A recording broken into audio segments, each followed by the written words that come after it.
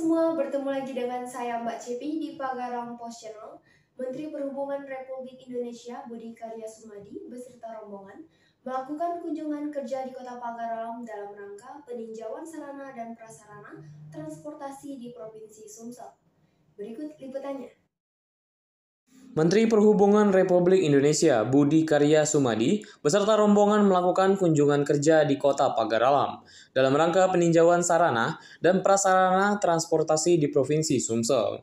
Tiba di Bandara Atung Bungsu menggunakan pesawat Karteran PKCAR sekitar pukul 15.30 waktu Indonesia Barat. Disambut langsung Wali Kota Pagaralam Alpian Maskoni didampingi Forkopimda.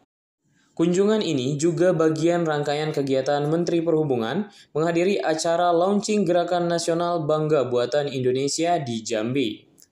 Menteri Perhubungan RI Budi Karya Sumadi mengatakan, sebagai destinasi atau tujuan utama wisata, perlu dikembangkan transportasi yang terintegrasi. Meski di tengah pandemi, pembangunan harus tetap berjalan.